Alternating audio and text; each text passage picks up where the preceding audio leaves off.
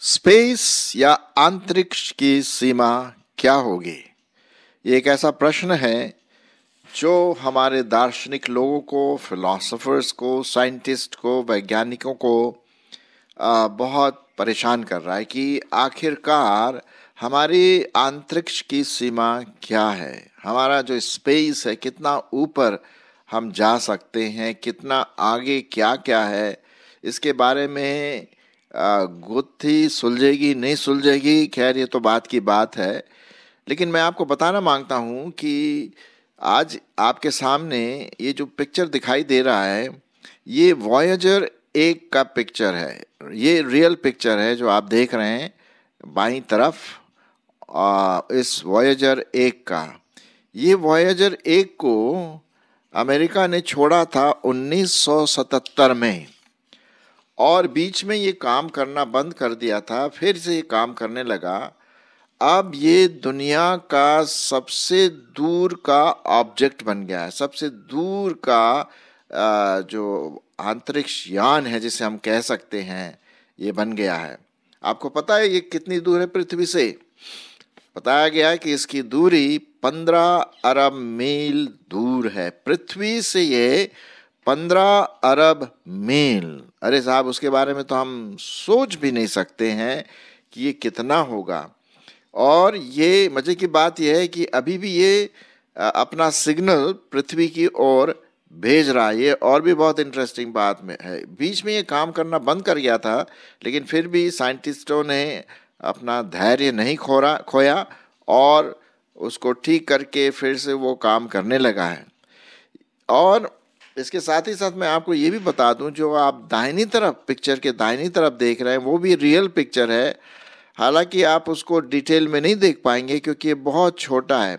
जो एरो आपको दिखाई दे रहा, उस एरो के दाएँ तरफ़, बिल्कुल दाएँ तरफ़ एक छोटा सा डॉट बना हुआ है, छोटा सा वाइट सा डॉट वो डॉट मालूम क्या है? वो हमारी पृथ्वी है। कहने का मतलब इस पंद्रह मील, पंद्रह अरब मील की दूरी से जब वॉयजर ने वॉयजर एक ने जब पिक्चर लिया अर्थ का तो एक डॉट के समान दिखाई दे रहा। शायद आपको छोटा सा भी दिखाई नहीं देगा, लेकिन अगर आप इसको बड़े स्क्रीन में देखें इस पिक्चर को तो आपको एक छोटा सा डॉट दिखाई देगा। और वो हमारा अर्थ है, वो हमारी पृथ्वी है, जिसमें हम सब रहते हैं। ये साहब एक ऐसा करिश्मा सा है जो हमारे माइंड को बैफल करता है। सोचता है कि हमारा माइंड कितना परमेश्वर ने ज़बरदस्त बनाया कि हम ये सब चीज़ें कर सकते हैं। अच्छा एक और चीज़ बताऊँ आपको। कि इसकी जो स्पीड है वोएजर वन की स्पीड है वो करीब अड़तीस हज़ार मील प्रति घंटा। उस स्पीड से वो आगे बढ़ रहा है और हमारे वैज्ञानिकों को ये नहीं पता कि ये कितना आगे जाएगा कहाँ ये खराब होगा कहाँ ये अनंत में खो जाएगा कोई कुछ कह नहीं सक रहा। लेकिन इतनी बात यह है कि ये आ, संकेत भेज रहा है इलेक्ट्रॉनिक सिग्नल भेज रहा है यहाँ से और जिसको आ, हमारे वैज्ञानिक उसको इंटरप्रेट कर रहे हैं उसका अर्थ निकाल रहे हैं। अच्छा एक और बात इसके बारे में ये है कि जब ये मैसेज भेजता है वोयाजर एक पृथ्वी को तो पृथ्वी तक आने में इसको 22.5 घंटे लगते हैं। और वो भी किस स्पीड से? 186,000 माइल पर सेकेंड के हिसाब से ये 22 घंटे लेता है आ, अपने भेजे हुए मैसेज को हमारे पृथ्वी तक पहुँचने में और पृथ्वी से वॉयजर वन तक पहुँचने में फिर 22 घंटे लगते हैं। तो ये बड़ी चमत्कार वाली बातें हैं जो हमारे वैज्ञानिकों ने किया है। अब ये मिल्की वे से बहुत दूर है वो मिल्की वे जिसमें हमारी पृथ्वी है सूर्यमंडल है और भी दूसरे तारे वगैरह पाए जाते हैं और ये आगे बढ़ता ही जा रहा है। ये वॉयजर वन की एक ज़बरदस्त पिक्चर है जो मैं आज आपके सामने दिखा रहा हूँ। आखिर क्या सीमा है? क्या सीमा पाई जाती है आ, स्पेस का या अंतरिक्ष का? बाइबल हमें बताती है कि आदि में परमेश्वर ने आकाश और पृथ्वी की रचना की। मैं आपके लिए पढ़ देता हूँ, पाया जाता है उत्पत्ति उसका पहला अध्याय, जहाँ पर क्रिएशन के बारे में, सृष्टि के बारे में, जब परमेश्वर ने अपने मुँह से शब्द कहा और ये हो गया। और ये इतना वास्ट है, इतना बड़ा है कि हमारा दिमाग, हमारा मस्तिष्क गिव अप कर देता है, समझ नहीं पाता है। उत्पत्ति उसका पहला अध्याय और उसका पहला पद। आदि में परमेश्वर ने आकाश और सृष्टि की पृथ्वी की सृष्टि की, रचना की, और उसी में आप और हम आज इस पृथ्वी में रहते हैं। और आकाश मंडल कितना बड़ा है भाई, वो तो हम कह नहीं सकते। पता नहीं, हो सकता है अनंत का हो, ना हो, ये तो अभी इसके बारे में साइंटिस्ट लोग वैज्ञानिक लोग इसके बारे में आ, सर रिसर्च कर रहे हैं कि और कितना होगा। ये जो वॉयेजर वन जो जा रहा है इतने स्पीड से आगे बढ़ रहा है और जो संदेश भेज रहा है उससे हम शायद बहुत कुछ सीखेंगे और दूसरे तारा गणों के बारे में। लेकिन मैं आपको ये इसलिए पिक्चर दिखाना माँगता हूँ कि हमारा माइंड जो है वो कितना ज़बरदस्त है कि ये सब चीज़ें करके दिखा देता है। और माइंड से ही हम समझ सकते हैं कि परमेश्वर कितना महान है और हमें उसको धन्यवाद भी देना इस सब बातों के लिए। चलिए मैं कुछ पदों को आपके लिए पढ़ना माँगता हूँ। जैसे कि मैं पढ़ूँगा, भजन संहिता छत्तीस पाँच। भजन संहिता, उसका छत्तीस अध्याय और पाँच पद। यहाँ पर इस प्रकार से लिखा हुआ है, मैं आपके लिए पढ़ देता हूँ कि, हे यहोवा, तेरी करुणा स्वर्ग में है, तेरी सच्चाई आकाश मंडल तक पहुँची है। है ना? अब सोचिए, मनुष्य क्या है यार? मनुष्य क्या है? अब देखिए, वो जो एरो मैंने दिखाया आपको व्हाइट कलर में, उसके आगे दाई तरफ़ एक छोटा सा बिंदु है छोटा सा डॉट है और वही डॉट हमारी पृथ्वी है जहाँ पर हम रहते हैं लड़ते हैं झगड़ते हैं स्वार्थपन है पाप है आ, लेकिन उसी में प्रभु परमेश्वर का क्या है? प्रेम भी है प्रेम भी है। देखिए एक छोटे से डॉट को प्रभु परमेश्वर कितना प्यार करता है क्योंकि परमेश्वर ने जगत से ऐसा प्रेम किया कि उसने अपना इकलौता पुत्र दे दिया ताकि जो कोई उस पर विश्वास करे, नाश न हो, परंतु अनंत जीवन पाए। ये आकाश मंडल में एक छोटा सा डॉट जो हमारे वॉयजर एक ने ये पिक्चर लिया हुआ है। और इसे ये बताता है कि हमारा परमेश्वर कितना महान है। यशाया उसका चालीस अध्याय, इक्कीस और बाईस पद मैं आपके लिए पढ़ देता हूँ। यशाया उसका चालीस अध्याय और उसका इक्कीस और बाईस पद। क्या तुम नहीं जानते? क्या तुमने नहीं सुना? क्या तुमको आरंभ ही से बताया, नहीं बताया गया? क्या तुमने पृथ्वी की ने पढ़ने के समय ही से विचार नहीं किया? ये वो है जो पृथ्वी के घेरे के ऊपर आकाश मंडल पर विराजमान है। और पृथ्वी के रहने वाले किसके समान है? टिड्डी के तुल्य हैं। टिड्डी कितनी बड़ी होती है? पता नहीं आपने देखा है कि नहीं, लेकिन मैंने देखा टिड्डी छोटी सी होती है। और पृथ्वी के रहने वाले टिड्डी के तुल्य है, जो आकाश को मलमल के समान फैलाता और ऐसा तान देता है जैसा रहने के लिए तंबू ताना जाता है। क्या बात है। हमारा जो अंतरिक्ष है ना, बहुत वास्ट है, बहुत बड़ा है। इसकी हम अपने मन से, दिमाग से इसकी हम कल्पना भी नहीं कर सकते कि कितना वासने से कितना बड़ा, महान ये बड़ा है, जो स्पेस, जिसे हम कहते हैं आंतरिक्ष। चलिए मैं कुछ और पदों को आपके सामने पढ़ूँगा। यही अंतरिक्ष के बारे में, स्पेस के बारे में कि परमेश्वर कितना महान है, जो हमारे लिए बनाया और हम क्या हैं? छोटे से डॉट है, छोटा सा बिंदु, है? और अगर और दूर गए तो वो बिंदु भी नहीं दिखाई देगा। हाँ चलिए मैं आपके लिए पढ़ता हूँ। भजन संहिता उन्नीस, एक से छ भजन संहिता उन्नीस और उसका एक से छह पद। यहाँ पर इस प्रकार से लिखा हुआ है, आकाश ईश्वर की महिमा का वर्णन कर रहा है और आकाश मंडल उसकी हस्तकला को प्रकट कर रहा है। दिन से दिन बातें करता है और रात को रात ज्ञान सिखाती है। न तो कोई बोली है और न कोई भाषा जहाँ उनका शब्द सुनाई नहीं देता है। उनका स्वर सारी पृथ्वी पर गूंज गया है और उनके वचन जगत की छोर तक पहुँच गए हैं।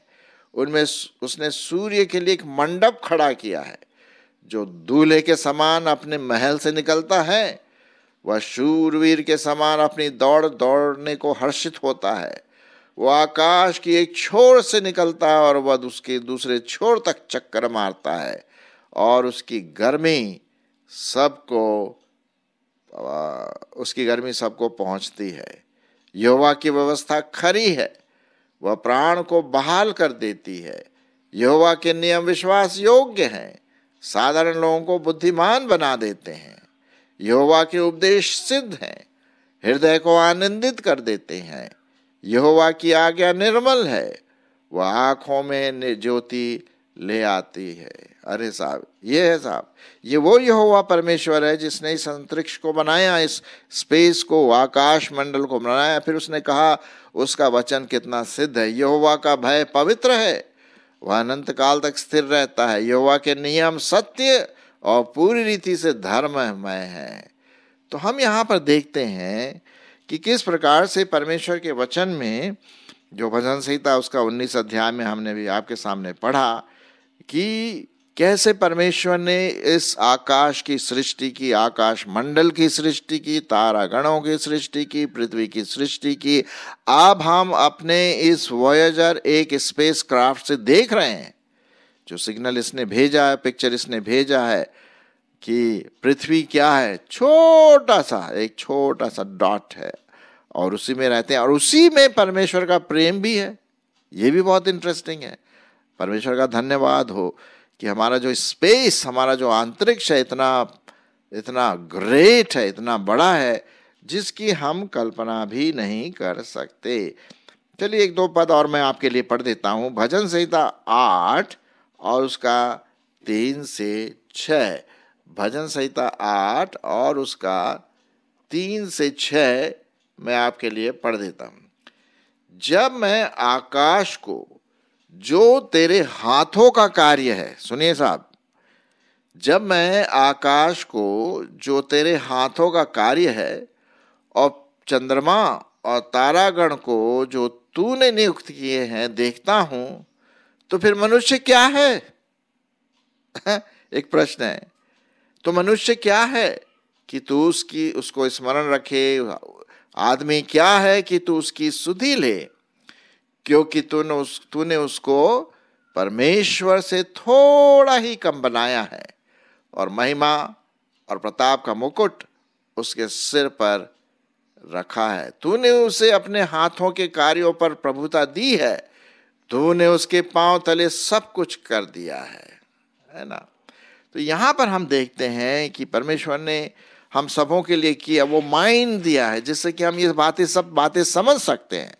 देखिए, हमारा माइंड कभी कभी भ्रष्टकारी सोचता है, भ्रष्ट कल्पनाएँ, बुरी बातें भी सोचता है, लेकिन हमारा माइंड अच्छी, पवित्र बातें वचन के बारे में भी सोच सकता है। वही माइंड जिसने इस स्पेस क्राफ्ट को तैयार किया वोएजर वन को। और पचास साल के बाद भी ये चला जा रहा है अपने गंतव्य स्थान को। अब कहाँ तक जाएगा कुछ पता नहीं है। साइंटिस्ट अभी भी इसके बारे में सोच रहे हैं कि इसका अंत कैसा होगा। लेकिन इससे, इस प्रकार की चीज़ों से हम बहुत कुछ सीख सकते हैं परमेश्वर के आकाश मंडल के बारे में, मिल्की वे के बारे में, तारागणों के बारे में, और ये भी हम सीखते हैं कि मनुष्य क्या है यार, क्या है। एक छोटा सा टिड्डी, धूल का तिनका हम्म छोटा सा है। साहब उसी को परमेश्वर प्यार करता है। उस अर्थ को, उस उस पृथ्वी को जिसको उसने बनाया और जिसमें उसने अपने महिमा के लिए लोगों को रखा, आपको और मुझको, कि हम अपने जीवन के द्वारा, उसको प्रभु ग्रहण करने के द्वारा अपना जीवन बिताएँ। और इसी पृथ्वी पर, इसी पृथ्वी पर जो डॉट से भी छोटा है, जो एरो जो मैं आपको दिखा रहा हूँ इस पिक्चर में, डॉट से भी छोटा है, बिंदु से भी छोटा है और ये छोटा तो होता चला जाएगा जितना दूर स्पेस क्राफ्ट जाएगा है ना? और इसी अर्थ में इसी पृथ्वी में हमारे प्रभु यीशु मसीह आए 2000 वर्ष पूर्व। क्या अजीब सा लगता है ना सोचने में? इस छोटे से डॉट में प्रभु परमेश्वर ने जन्म लिया हम्म, और वचन सुनाया और फिर आपके और मेरे पापों के लिए बलिदान किया। और तीसरे दिन मुर्दों में से जी उठा। और फिर वो स्वर्ग में चढ़ गया, ऊपर, है ना? चला गया। और उसने कहा कि जैसे मैं ऊपर जा रहा हूँ, वैसे एक दिन वापस भी आऊँगा। किस किस लिए? अपने लोगों को लेने के लिए, जो उसको प्यार करते हैं, जिन्होंने उसको उद्धार करता माना है, जो उसको प्रभु मानते हैं, सच्चा परमेश्वर मानते हैं, और सृष्टिकर्ता मानते हैं, जो हमारे चारों तरफ़ जो स्पेस है, तारागण, मिल्की वे, सूर्य, चंद्रमा, ये सब ज़बरदस्त चीज़ है हमारे चारों तरफ़। उस, वो परमेश्वर सृष्टिकर्ता हमें वापस लेने के लिए फिर से आएगा। तो ये आज का जो मैं आपके सामने जो बता रहा हूँ कि कितना महान हमारा स्पेस है, अंतरिक्ष है, और ऐसा लगता है कि इसकी कोई सीमा भी नहीं नहीं, कितना ऊपर जाएँगे, कितना जाएँगे कितना जाएँगे, जितना जाएँगे उतना और ये बढ़ता जाएगा। है ना? कोई अंत है? खैर हम तो कह नहीं सकते भाई, लेकिन इतना कह सकते हैं कि ये परमेश्वर क्या, परमेश्वर की एक रचना है, जो हमारे दिमाग से परे है। और ये वॉयजर जो जा रहा है, जैसे मैंने शुरू में आपसे कहा था, इसकी स्पीड जो है थर्टी एट थाउज़ेंड मील प्रति घंटा, अड़तीस हज़ार मील प्रति घंटे के हिसाब से ये आगे बढ़ता चला जा रहा है। बहुत फास्ट है। हम तो सोच भी नहीं सकते। और पता नहीं इसका आगे क्या होगा। ना वैज्ञानिक भी यही, ये बोलते हैं कि खैर ये वापस तो आएगा नहीं। कहीं स्पेस में, अंतरिक्ष में ये लॉस्ट हो जाएगा, खो जाएगा, पता नहीं। खैर, जो भी इसने अभी तक इंफॉर्मेशन भेजी है, वो परमेश्वर को महिमा देने योग्य है, क्योंकि हम बहुत सारी चीज़ें इन स्पेस क्राफ्ट के द्वारा जानते हैं। अरे साहब, चंद्रमा तो कुछ भी नहीं है। चंद्रमा तो हमारा नेक्स्ट डोर नेबर है। ये देखिए वॉयजर वन को, जो पंद्रह अरब मील दुनिया का सबसे दूर का मनुष्य द्वारा भेजा हुआ ऑब्जेक्ट है। ये चीज़ है जो ये जा रही है। हम धन्यवाद दे परमेश्वर का कि उसने हमें ऐसा माइंड दिया है।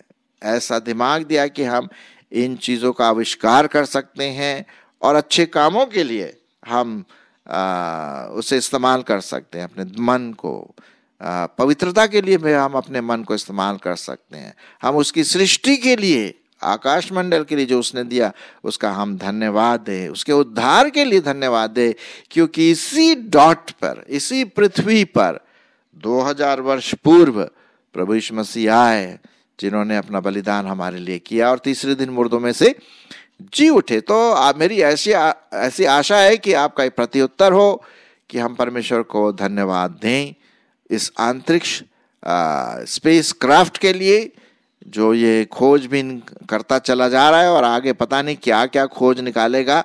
मैं तो बस रोज न्यूज़ सुनता रहता हूँ और फिर उसके बाद आ, जो आपको बताना हो ताकि आपको उसको बता सकूँ परमेश्वर के वचन के आधार पर। तो क्या हम परमेश्वर को धन्यवाद दें उस सृष्टि के लिए, उस आकाश मंडल के लिए, उस सूर्य चाँद सितारों के लिए, उस उद्धार के लिए, उस दिमाग के लिए जो परमेश्वर ने मनुष्य के अंदर डाला है ताकि इसे सही रूप से इस्तेमाल कर सके। चलिए हम धन्यवाद देते प्रभु जी, तेरा धन्यवाद हो इस वॉयजर वन के लिए जो तैर रहा है, जो हमसे पंद्रह अरब मील दूर है और आगे और भी शायद बहुत सारी बातें बताएगा। लेकिन जब देखते हैं कि छोटा सा अर्थ छोटी सी पृथ्वी एक डॉट के बराबर है एक बिंदु के बराबर है जि, जिसको तू प्यार करता है जिसमें हम लोग रहते हैं तूने इस पृथ्वी की सुधी ली हमारी सुधी ली और हमारे पापों को दूर करने का एक उपाय निकाला। हम धन्यवाद देते हैं प्रभु जी प्रभु परमेश्वर यीशु मसीह के लिए उसके बलिदान के लिए उसके उद्धार के लिए उसके जी उठने के लिए उसके जीवन के लिए जो हमारा जीवन बन जाता है। सो प्रभु जी हम तेरा इन बातों के लिए धन्यवाद देते हैं और हमें ऐसी और भी बातें सिखा जिससे कि हम आनंदित बने रहें और तेरे बारे में और सीखें आ, इन सब चीज़ों के द्वारा ताकि तेरे नाम की महिमा हो युगानुयुग तेरे नाम की महिमा होती रहे। यीशु मसीह के नाम के द्वारा मांगते हैं। आमीन।